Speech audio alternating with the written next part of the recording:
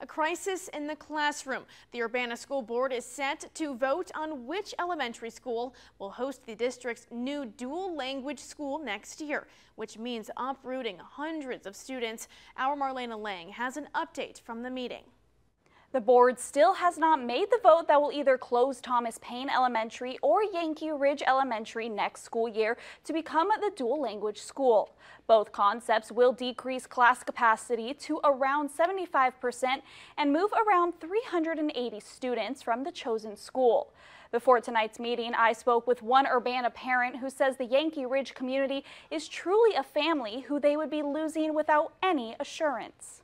Yeah, we just have an amazing community there. The after school director, my kids aren't even in after school, and she came to my kids' baseball game. It just really is a family, and it's just really sad to let that go. Um, and without any real assurance that it's worth it.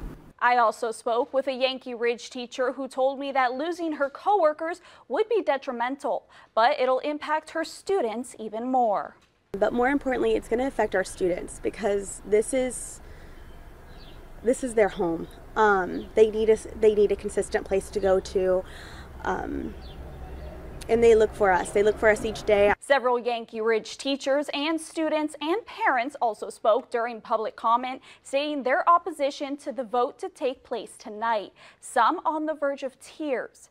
Staff, parents, and students are not against a dual language program, but they want the district to pause on these major decisions until there is a strategic plan.